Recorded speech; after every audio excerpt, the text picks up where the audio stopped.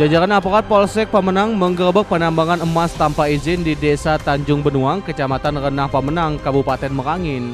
Petugas tiba dan melakukan tembakan peringatan supaya pelaku peti tidak melarikan diri. Namun tidak dihiraukan, lalu upaya penangkapan dengan cara pengejaran tidak membuahkan hasil. Para pelaku tetap kabur menempuh ekstrimnya geografis wilayah setempat.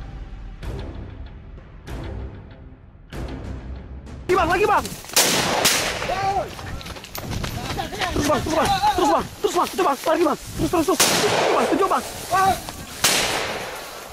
Sebelum meninggalkan lokasi, tiga peralatan dompeng dibakar petugas. Rencananya penindakan lebih lanjut akan dilakukan. Pasalnya peti di lokasi tersebut tergolong besar.